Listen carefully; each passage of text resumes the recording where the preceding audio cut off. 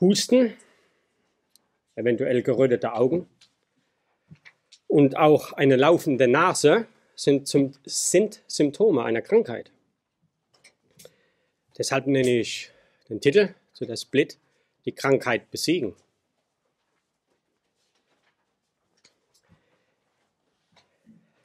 Husten hat zum Beispiel die Symptome Halsschmerzen, Nasen der Laufe, Nasen der Laufe. Eine Nase, die läuft. Man. Und 2020 waren es Corona-Symptome. Aber darauf wollen wir heute nicht eingehen. Es gibt eine geistliche Krankheit, die vielleicht so verbreitet ist wie die Erkältung oder wie eine Grippe. Welche Symptome hat diese Krankheit und wie können wir sie erkennen? Und die wichtigere Frage, haben wir diese Symptome? Dies sollte jeder für sich beantworten. Selbstgerechtigkeit ist eine geistliche Krankheit, die, die ihre eigene spezifische Symptome hat, die es zu erkennen, zu isolieren und noch viel wichtiger zu behandeln ist. Die Symptome selbst erklären nicht, was Selbstgerechtigkeit ist. Sie weisen nur auf das Vorhandensein der Krankheit hin. Aber das Isolieren der Symptome kann uns helfen, beziehungsweise es wird uns helfen, die Krankheit zu besiegen und auch sie auszurotten.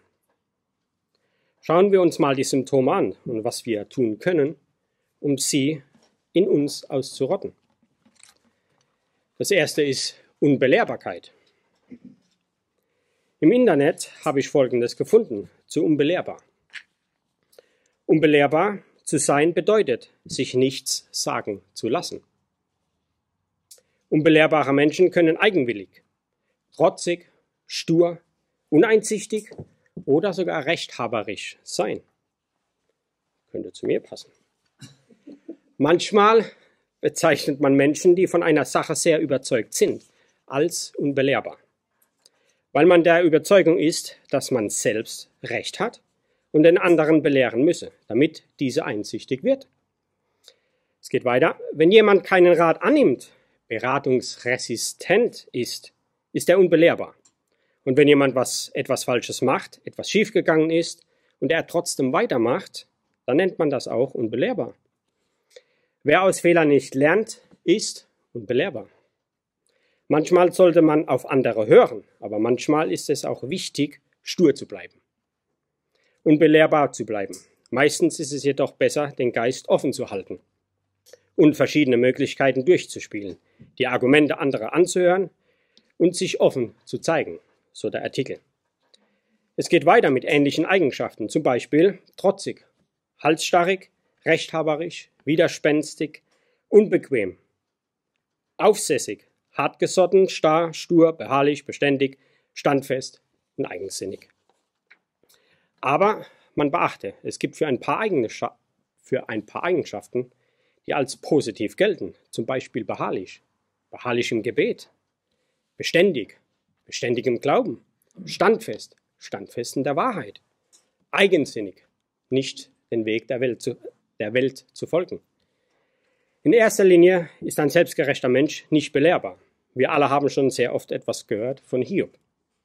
Er war vor seiner völligen Bekehrung ein klassisches Beispiel für Selbstgerechtigkeit. Er war nicht belehrbar. Wir lesen eine Aussage in Hiob 27, Vers 6. Schlagen Sie bitte mit mir auf. Hiob 27 und lesen wir Vers 6.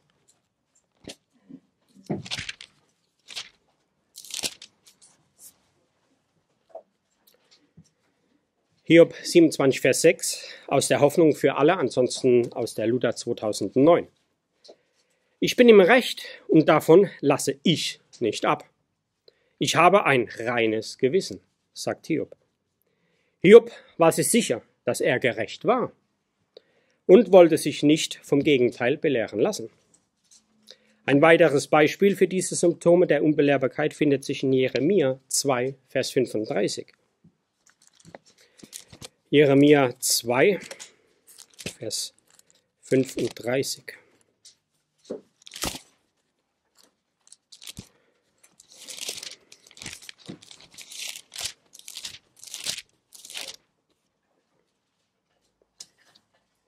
Hier lesen wir, doch sagst du, ich bin unschuldig. Er wende seinen Zorn von mir. Sieh, ich will mit dir rechten, weil du sagst, ich habe nicht gesündigt. Jeremia schrieb, was Gott zum alten Volk Juda sagte. Und doch sprachst du, ich bin unschuldig. Er hat es jedoch seinen Zorn von mir gewandt, wie wir es gelesen haben. Siehe, ich will dich richten, weil du sprichst, ich habe nicht gesündigt. Das alte Volk Juda war selbstgerecht. Die Menschen hielten sich für unschuldig. Sie glaubten, sie hätten nicht gesündigt. Das machte es Gott sehr schwer, sie zu belehren. Es ist praktisch unmöglich, einen Menschen zu belehren, der glaubt und überzeugt ist, im Recht zu sein. Wenn diese Person jedoch bereit ist, sich einzugestehen, dass sie im Irrtum sein könnte oder falsch lag, hat sie begonnen, sich belehren zu lassen. Das ist schon mal ein Anfang. Die Weigerung, sich belehren zu lassen, ist daher ein deutliches Zeichen von Selbstgerechtigkeit. Sind wir belehrbar? Sind wir leicht zu belehren? Oder sind wir starkköpfig und sehr schwer zu belehren? Das nächste ist Stolz auf den Gehorsam. In Lukas 18, Verse 11 bis 12, lesen wir von dem Pharisäer, der zweimal in der Woche fastete. Er war stolz auf sein Gehorsam. Lukas 18 und lesen wir die Verse 11 und 12.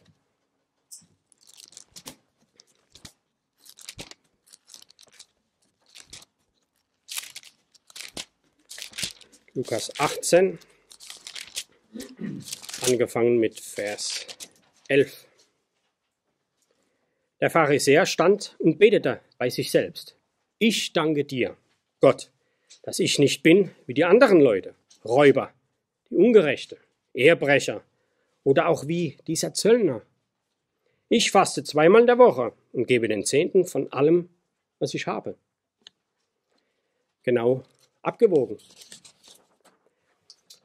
Heute wird Stolz von den meisten auf subtilere Weise ausgedrückt.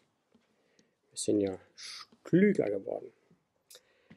Anstatt den Menschen zu sagen, dass wir fasten oder einen Zehnten geben oder dass wir eine großzügige Gespende gemacht haben, machen wir nur Andeutungen.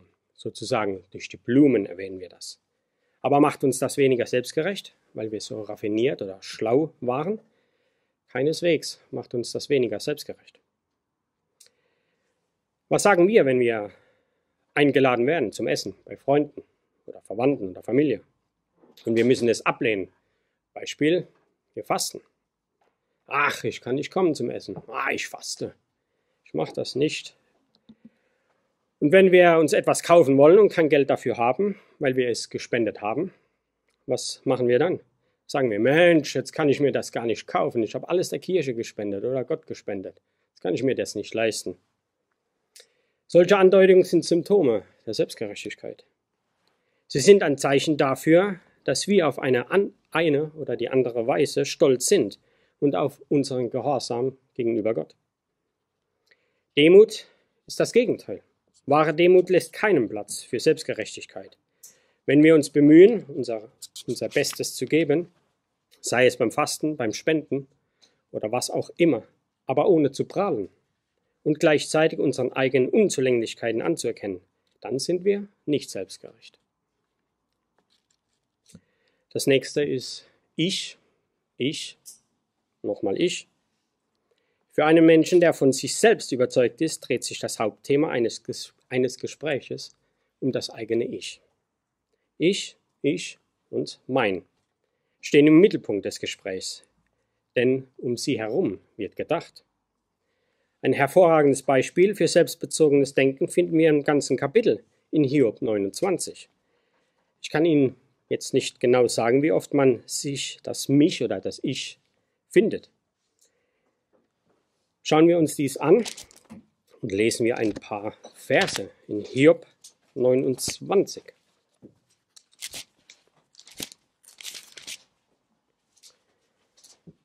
Hiob 29, angefangen mit Vers 1. Und Hiob setzte seine Rede fort und sagte, Oh, dass ich wäre wie in den vorigen Monaten, wie in den Tagen, als mich Gott behütete, als seine Leuchte über meinen Kopf schien und ich in der Finsternis seinem Licht ging. Als ich in der Reife meines Lebens war, als Gottes Freundschaft über meinem Zelt war, als der Allmächtige noch mit mir war und meine Kindern um mich her waren, als ich meine Dritte in, Bud in Buddha wusch und die Felsen mir Ölbäche gossen, wenn ich in der Stadt zum Tor hinausging und mir meinem Stuhl dort auf die Straße stelle. Das geht so weiter. Hiob war eindeutig auf sich selbst bezogen. Dies können wir in Vers 14 deutlich lesen. Vers 14 im gleichen Kapitel. Gerechtigkeit war mein Gewand, das ich anzog wie ein Mantel, und mein Recht war mein fürsterlicher Hut. Ein bekehrter Christ, der vom Geist Gottes geleitet wird, interessiert sich für andere und ist nicht selbstbezogen. Gehen wir zu Philippa 2 und lesen wir Vers 4.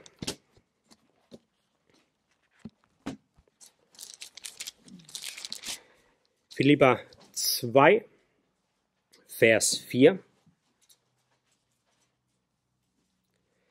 Und jeder sehe nicht auf den eigenen Vorteil, sondern auch auf das, was dem anderen dient. In der Elberfelder wird es so übersetzt. Ein jeder sehe nicht nur auf das Seine, sondern ein jeder auch auf das anderen. Hier liegt die Aufmerksamkeit nicht auf sich selbst, sondern weg von sich selbst.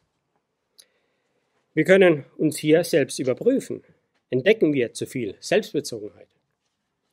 Die Bibel lehrt uns, unseren Nächsten zu lieben wie uns selbst. Wir müssen es jeden Tag ein bisschen mehr tun, denn nur dann werden wir wirklich den anderen Menschen in unserem Herzen und in unseren Gedanken haben und nicht nur uns selbst. Gott einen Dienst erweisen. In Hiob 35, Vers 7, Hiob 35, Vers 7, lesen wir,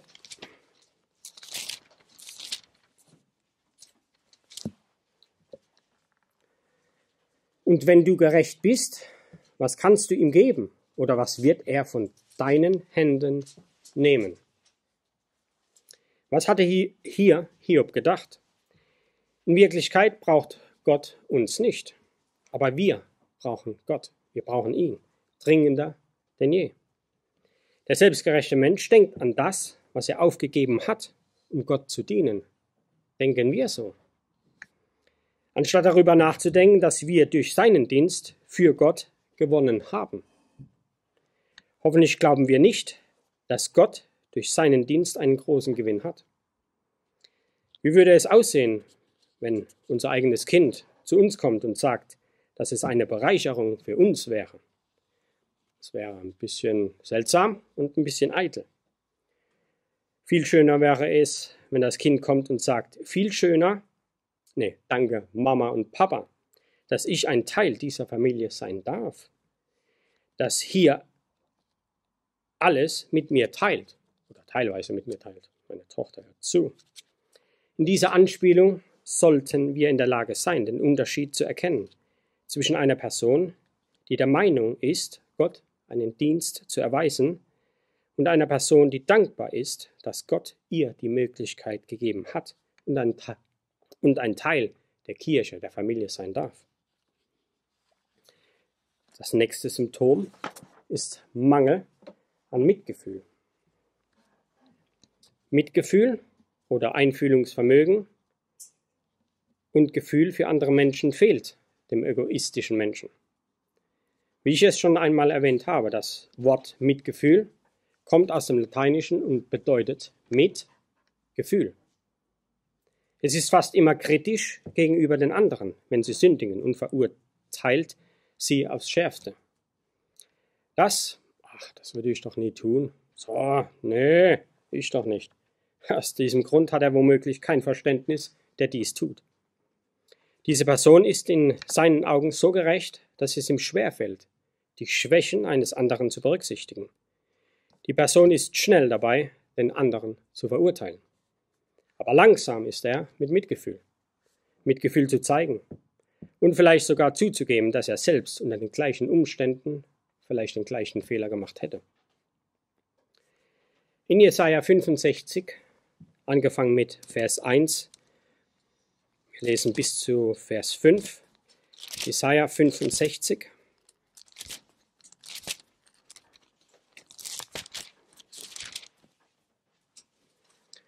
Angefangen mit Vers 1. Ich werde gesucht von denen, die nicht nach mir fragten. Ich werde gefunden von denen, die mich nicht suchten. Und zu den Nationen, die meinen Namen nicht anriefen, sage ich, hier bin ich, hier bin ich. Ich strecke meine Hände den ganzen Tag zu einem ungehorsamen, ungehorsamen Volk aus, das seinen Gedanken nachgeht, auf einen Weg, der nicht gut ist. Ein Volk, das mich entrüstet, ist immer vor meinem Angesicht opfert in den Gärten und räuchert auf den Ziegensteinen. Sitzt unter den Gräbern, Vers 4, und bleibt über Nacht in den Höhlen. Sie essen Schweinefleisch und haben Gräuelsuppen in ihren Töpfen und sagen, Bleib für dich und rühre mich nicht an, denn ich bin für dich heilig.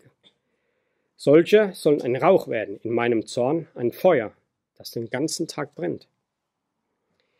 Die Haltung des alten Judah gegenüber Menschen, die Sünder waren aber auch eine Prophezeiung für die Zukunft. Gott verurteilt die Menschen, die, obwohl sie selbst Sünder waren, zu den anderen Sündern sagten, bleib weg und komme nicht zu mir. Ich bin heiliger als du. Dies ist typisch für eine selbstgerechte Person. Diese Person sieht ihre eigenen Fehler, ihre Sünden nicht, kritisiert lieber die Fehler der anderen. Ist viel leichter, viel angenehmer. In äh, Lukas 15, angefangen mit Vers 11, lesen wir. Lukas 15, angefangen mit Vers 11 bis Vers 32. Und er sagte, ein Mensch hat zwei Söhne. Und der Jüngere von ihnen sagte zum Vater, Gib mir, Vater, den Teil des Vermögens, der mir zusteht. Und er teilte ihnen den Besitz. Wenige Tage später sammelte der jüngere Sohn alles zusammen und zog in ein fernes Land. Dort vergeudete er sein Vermögen durch ein verschwenderisches Leben. Als er nun alles verzehrt hatte, kam ein gewaltiger Hunger, eine gewaltige Hungersnot über jenes Land, und er fing an, Mangel zu leiden. Dann ging er hin und hängte sich an einen Bürger jenes Landes, der schickte ihn auf seinem Acker, um die Schweine zu hüten. Und er hätte gerne ein, seinen Bauch mit den Schoten gefüllt, die die Schweine fraßen, aber niemand gab sie ihm. Da ging er in sich und sagte, wie viel Tagelöhner hat mein Vater, die Brot in Fülle haben, und ich komme vor Hunger um. Ich will mich aufmachen und zu meinem Vater gehen und zu ihm sagen, Vater, ich habe gesündigt gegen den Himmel und von vor dir. Ich bin hinfort nicht mehr wert, dass ich dein Sohn genannt werde. Mache mich zu einem deiner Tagelöhner. Und er machte sich auf und kam zu seinem Vater. Als er aber noch fern war, sah ihn sein Vater, und es jammerte ihn. Und er lief und fiel ihm um seinen Hals und küsste ihn. Vers 21. Der Sohn aber sagte zu ihm, Vater, ich habe gesündigt gegen den Himmel und vor dir. Ich bin hinfort nicht mehr wert, dass ich dein Sohn genannt werde. Aber der Vater sagte zu dem Knecht, bring das beste Gewand herbei und zieht es ihm an und gebt ihm einen Ring an seine Hand und Sandalen an seine Füße. Und bringt das gemästete Kalb her und schlachtet und schlachtet es. Und lasst uns essen und fröhlich sein. Vers 24, denn dieser, mein Sohn, war tot und ist wieder lebendig geworden, und er war verloren und ist gefunden worden. Und sie fingen an, fröhlich zu sein, aber der ältere Sohn war auf dem Feld, und als er nahe zum Haus kam, hörte er Musik und Reigen. Da rief ihn da rief er einen der Knecht zu sich und fragte, was das sei. Da sagte ihm, dein Bruder ist gekommen und dein Vater hat das gemästete Kalb geschlachtet, weil er ihn gesund wieder hat. Da wurde er zornig und wollte nicht hineingehen. Da ging sein Vater heraus und bat ihn. Er, habe er aber antwortete dem Vater, sieh, so viele Jahre diene ich dir und habe dein Gebot noch nie übertreten. Und du hast mir nie einen Bock gegeben, damit ich mit meinen Freunden fröhlich wäre. Da aber dieser dein Sohn gekommen ist, der dein Vermögen mit Huren durchgebracht hat, hast du ihm das gemästete Kalb geschlachtet. Er aber sagte zu ihm, Vers 31, Mein Sohn, du bist alle Zeit bei mir, und alles, was mein ist, das ist dein. Aber man muss doch fröhlich sein und sich freuen, denn dieser, deiner Bruder, dein Bruder war tot und ist wieder lebendig geworden. Er war verloren und ist wieder gefunden geworden. In diesem Gleichnis sehen wir ein Beispiel für einen selbstgerechten Menschen. Als dem verlorenen Sohn vergeben wurde, war der ältere Bruder zornig. Er hatte kein Mitleid mit seinem Bruder, der ein verschwenderisches Leben führte. Und er gerettet wurde aus diesem Elend. Er war stolz auf sein Gehorsam, während sein Bruder, sein Bruder, ein Sünder war. Und weil es dem älteren Bruder an Mitgefühl fehlte, war er nicht in der Lage zu verstehen, dass sein Bruder sich geändert hatte und Treue zeigte. Er hat vielleicht Angst, dass er das Erben teilen musste.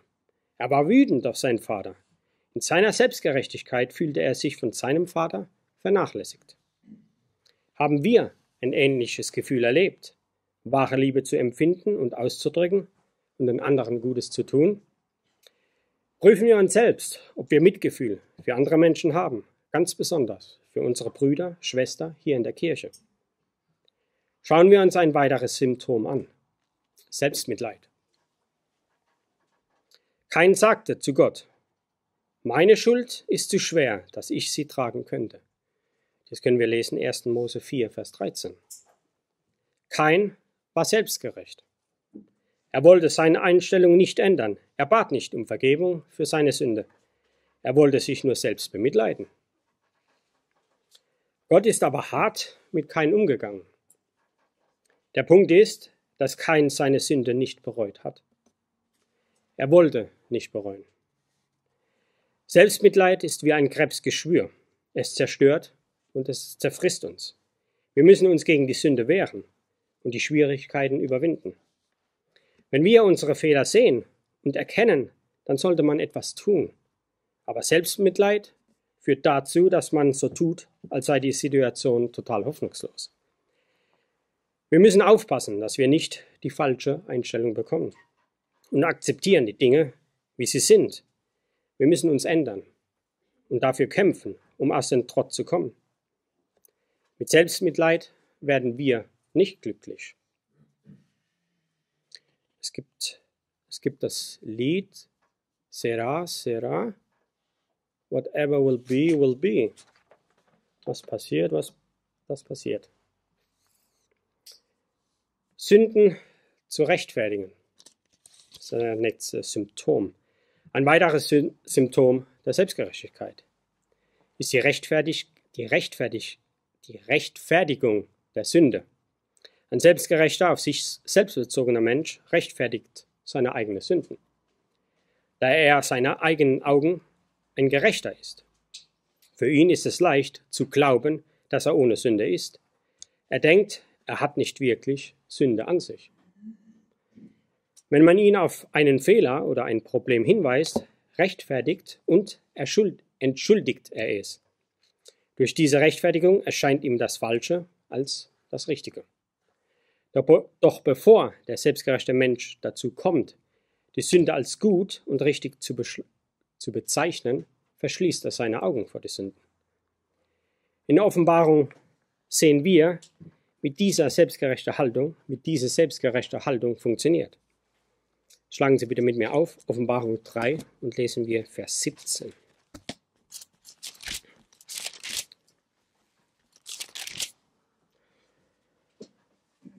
Offenbarung 3, Vers 17. Denn du sagst, ich bin reich und bin reich geworden und brauche nichts. Und weißt nicht, dass du elend und jämmerlich, arm, blind und nackt bist.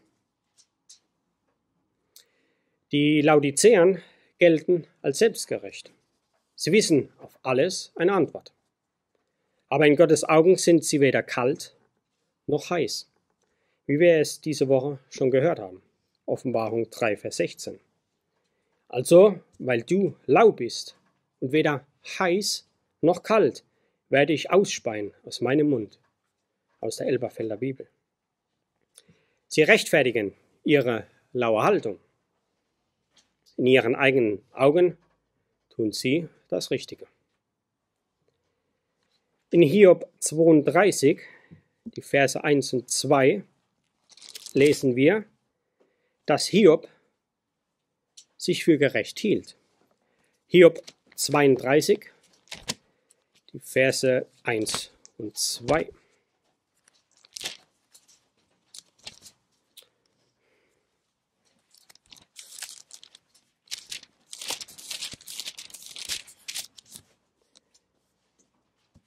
Da hörten die drei Männer auf, Hiob zu antworten, weil er sich für gerecht hielt. Aber Eliu, der Sohn Bararels von Bus, der Siberams, wurde zornig über Hiob, weil er sich selbst für gerechter hielt als Gott. Hiob erlebte körperliche Prüfung. Er dachte, er wird von Gott bestraft. Er erforschte sein eigenes Herz, aber er konnte keinen Grund finden, warum er so litt. Aus diesem Grund musst, musste ein anderer schuld gewesen sein. Ganz klar, ne?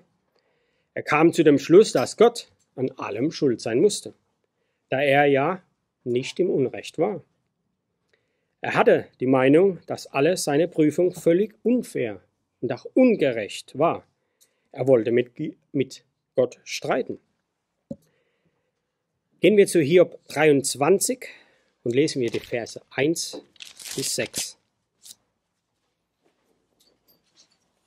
Hiob 23, angefangen mit Vers 1, diesmal aus der Gute Nachricht.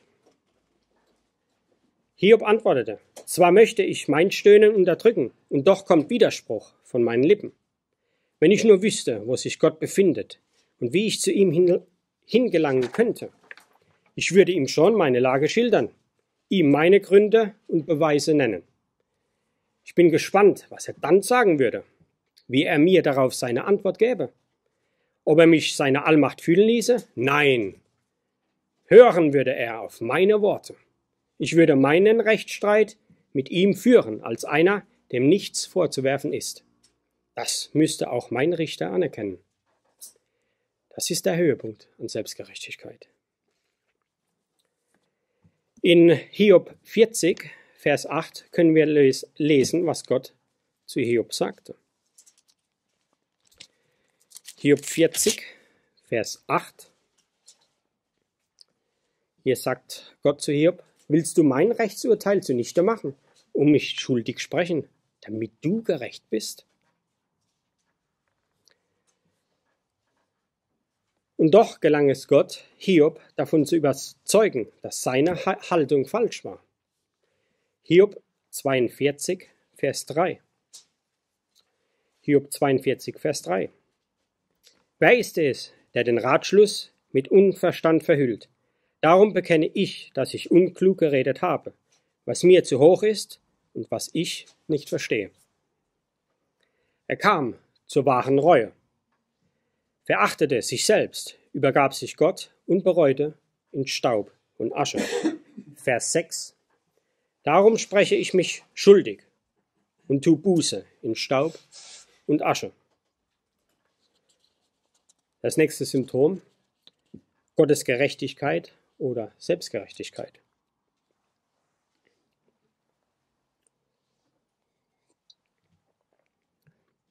Wie wir in Hiob 29, Vers 14 gelesen haben, Gerechtigkeit war mein Kleid. Und er fuhr fort, sich seiner zu rühmen. Aber diese Gerechtigkeit war eindeutig nicht die, Recht, die Gerechtigkeit Gottes. In Philippa 3 lesen wir die Verse 4 bis 9.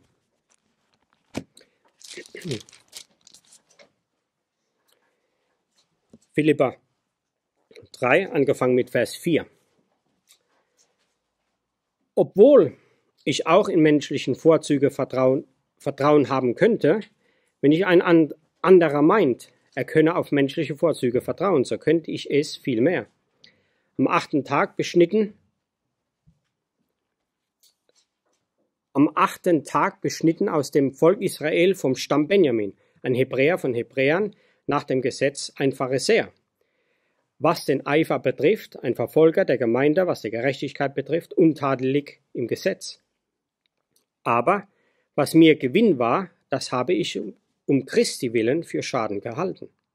Ja, ich halte in der Tat alles für Schaden, wegen der überragenden Erkenntnis Christi, Jesu, meines Herrn, für den ich alles verloren habe, und halte es für Dreck, damit ich Christus gewinne.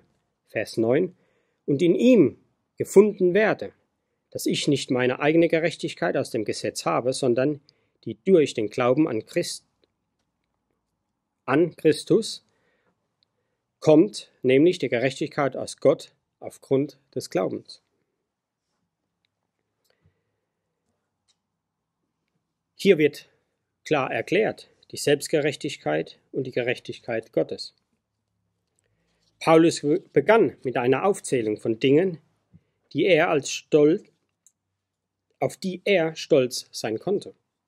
Dann fuhr er in Vers 8 fort und zeigte, dass er all diesen vergangenen Ruhm als nichts ansah. In, in Vers 9 lesen wir, diesmal aus der guten Nachricht, Zu ihm möchte ich um jeden Preis gehören, deshalb will ich nicht mehr durch mein eigenes Tun vor Gott als gerecht bestehen. Ich suche nicht meine eigene Gerechtigkeit, die aus der Befolgung des Gesetzes kommt, sondern die Gerechtigkeit, die von Gott kommt und denen geschenkt wird, die glauben. Und, im, und ich möchte vor Gott als gerecht bestehen, indem ich mich in vertrauendem Glauben auf das verlasse, was er durch Christus für mich getan hat. Paulus erkannte den Unterschied zwischen Selbstgerechtigkeit und Gottesgerechtigkeit. Vor seiner Bekehrung war Paulus selbstgerecht gewesen, aber nach seiner Bekehrung wurde er durch den Glauben an Christus in ihm mit Gottes Gerechtigkeit erfüllt. Den Unterschied zwischen der Gerechtigkeit der Israeliten und der Gerechtigkeit Gottes macht Paulus in Römer 10, die Verse 1 und 3 sehr deutlich. Römer 10, die Verse 1 bis 3. Brüder, meines Herzens Wunsch und mein Flehen zu Gott für Israel ist, dass sie gerettet werden. Denn ich bestätige ihnen, dass sie Eifer für Gott haben, aber nicht mit Erkenntnis. Denn weil sie die Gerechtigkeit Gottes nicht erkennen und danach streben, ihre eigene Gerechtigkeit aufzurichten, haben sie sich vor der Gerechtigkeit Gottes nicht unterworfen. Ihnen fehlte der Heilige Geist und somit versuchten die Israeliten, ihre eigene Gerechtigkeit zu errichten, was zu Selbstgerechtigkeit führte wie wir es eben gelesen haben. Versuchen wir das Gleiche zu tun. Was können wir tun? Suchet Gottes Gerechtigkeit. Jesus sagte, dass er aus sich selbst heraus nichts tun könnte. Johannes 5, Vers 19.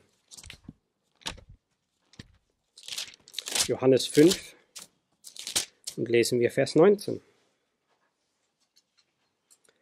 Da antwortete ihnen Jesus, Wahrlich, wahrlich, ich sage euch, der Sohn kann nichts aus sich selber tun, sondern was er den Vatern tun sieht, denn was dieser tut, das tut in gleicher Weise auch der Sohn. Er wusste es und er, und er gab es zu. Deshalb war seine Gerechtigkeit keine Selbstgerechtigkeit, sondern die Gerechtigkeit Gottes. Er vertraute nicht auf seine eigene Kraft, um gerecht zu sein. Er betete ohne Unterlass und bat Gott, um seine Gerechtigkeit zu schenken. Und so wie Jesus seinen Vater um diese Kraft bat, so werden auch wir ermahnt. Matthäus 6, Vers 33. Matthäus 6, Vers 33. Trachtet zuerst nach dem Reich Gottes und nach seiner Gerechtigkeit. Dann wird euch das alles zufallen. Der Kampf gegen die Selbstgerechtigkeit ist ein ständiger Kampf. Dazu gehört der tägliche Kontakt mit Gott durch Gebet, durch Bibelstudium, damit Gott und Christus durch den Heiligen Geist in uns lebt, leben kann. Wenn Gott weiterhin in uns lebt, wird seine Gerechtigkeit die Selbstgerechtigkeit ersetzen. Galater 2, Vers 20.